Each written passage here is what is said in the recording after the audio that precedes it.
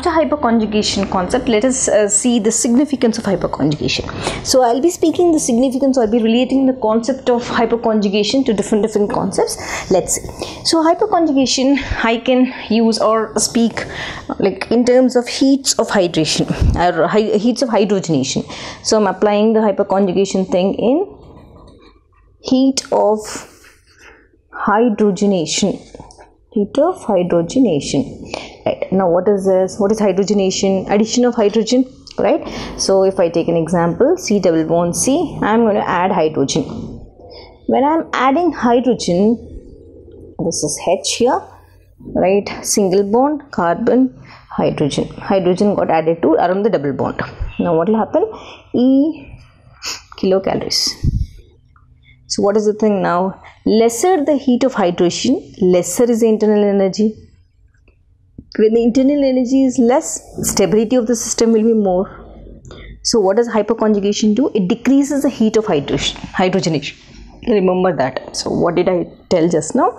Let us write that. First concept is lesser the heat of hydrogenation, this heat lesser the heat of hydrogenation what will happen lesser is the internal energy lesser is the internal energy. When internal energy is less what will happen? Stability will be more. So stability will be more for the system. So what does this do? Hyperconjugation. Hyperconjugation will it decreases heat of hydration that's why this system will become stable. It decreases heat of hydrogenation. So hence that is the first application. And because of this the system will become stable. Suppose if i take uh, certain examples i'll show you what it is. Suppose if i have to take this example ch3 c double bond c h and ch3 what is this? This is trans 2 butene now i'm writing cis now. Cis means on the same side. Ch3 here ch3 here. Hydrogen here hydrogen. Trans 2 butene opposite side. Cis 2 butene on the same side. Here the delta h value is delta heat of hydration is 27.6 kilocalories per mole. For the cis the delta h value is 28.6 kilocalorie per mole. Right? So uh, which is more uh, stable now? Whichever energy is uh, this one less right? So cis 2 butene is less stable now because uh, the energy for this is less 27.6 here the energy is more 28.6 so according to this what is the uh, thing when just write cis 2 butene this one cis 2 butene is less stable than trans 2 butene trans 2 butene isn't it? That is what is the concept isn't it? Right? So that is uh, how we are going to write uh, in terms of um, heat of uh, hydration. So that is what heat uh, that hyperconjugation can be related to heat of hydration in this way. Right? So this is the first application fine. Now let me take one more example. I'm going to apply the concept of hyperconjugation to one more or apply this to which one am i applying? I'm applying it to stability of second application stability of carbonium ions. I'm applying this concept to this. Right. So what is this?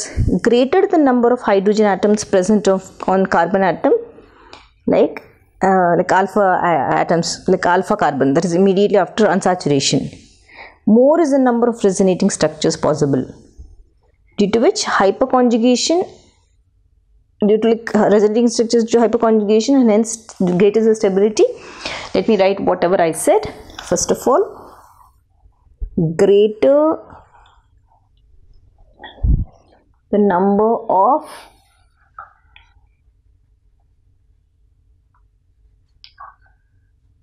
hydrogen atoms okay where present on the carbon atom that is alpha carbon atom alpha to unsaturation.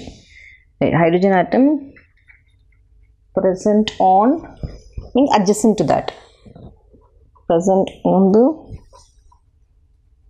carbon atom which one which carbon atom? It should be adjacent to alpha alpha carbon atom that atoms alpha to unsaturation. Immediately after unsaturation that carbon atom. More hydrogens are present. Then if more hydrogens are present what will happen? Number of resonating structures. Why are these occurring? Due to hyperconjugation due to hyperconjugation will increase.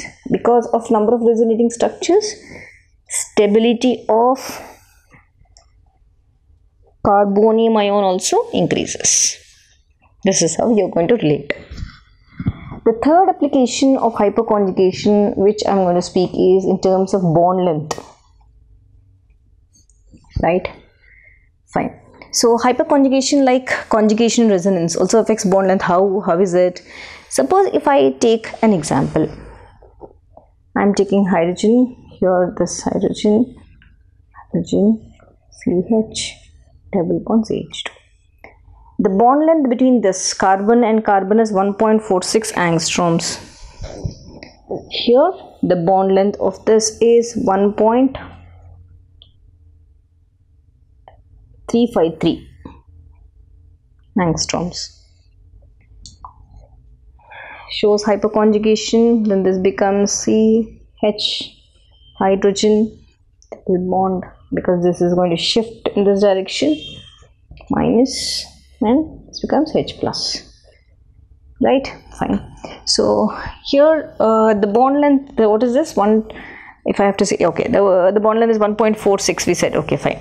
Uh, normally if I have to speak about this is 46 isn't it? Normally if I have to speak in terms of propane propane is 1.54 angstroms. Why? Here propane has a partial double bond character and acquired and hence it is little shorter isn't it? Now because of this hyperconjugation also I'm relating once again propene is has 1.46 compared to propane alkene because of the partial double bond character correct? Right. So i can also relate or apply your uh, uh, or give this application of uh, hypoconjugation. Let me take a paper to the next concept that is dipole moment let us see the fourth application. I'm going to relate or apply this concept to dipole moment let us write the heading dipole moment right. How hyperconjugation causes the development of charges. Yes. So because of this it affects the dipole moment of the molecule. How? Right uh, suppose this is see the bond the dipole moment of this is 2.27 d. Now this shows hyperconjugation. See? Uh, if i take uh, same aldehyde okay one more example. Extension of this i am taking. One more which shows because i need adjacent uh, alpha hydrogen isn't it? Yes double bond now taken this is alpha hydrogen compared adjacent to the uh, alkyl now this uh, here it's going to show hyperconjugation then the shifts this becomes h plus. This is h double bond. O minus now the mu value for this is 2.72 d, d by half. Now what is happening here? See the mu value this whole thing? Has CHO CHO how much is this? This is 2.27 now because of hyperconjugation the mu value has become 2.72 so hyperconjugation also affects dipole moment. Significance that is important thing. Now suppose if I take the next one next application. For I'm applying hypoconjugation to ortho para-directing properties of methyl group in toluene right? So op directing uh, directing group in toluene is basically due to plus I effect and due to partially due to hypoconjugation also. What am i writing? Right? Ortho para directing property of methyl group is due to methyl group in what? In toluene in toluene is due to two things. One is plus I effect as well as hyperconjugation. Let's see this. Let us take toluene now. Toluene is ch3 right? So if i have to write toluene same thing like this only same thing i'm writing. Let me write in term bonds c hydrogen hydrogen and h3 now in the first case now i say hyperconjugation isn't it? So first this is going to shift here when this shifts here how does this look?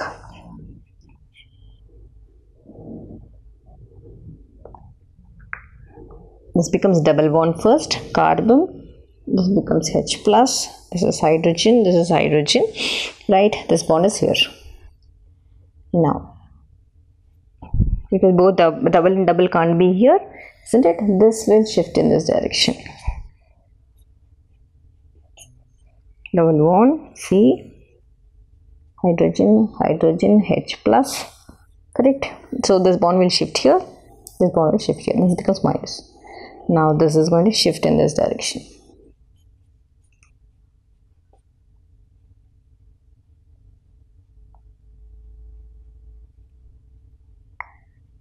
This hydrogen this hydrogen this is h plus. This becomes minus. Right. So this particular thing of methyl group like in toluene ortho para directing group both you can explain due to inductive effect as well as hyperconjugation both. Inductive effect also hyperconjugation also plus I effect as well as hyperconjugation. So these are the significance of hyperconjugation. Now let me come back and meet you with the next topic that is the resonance effect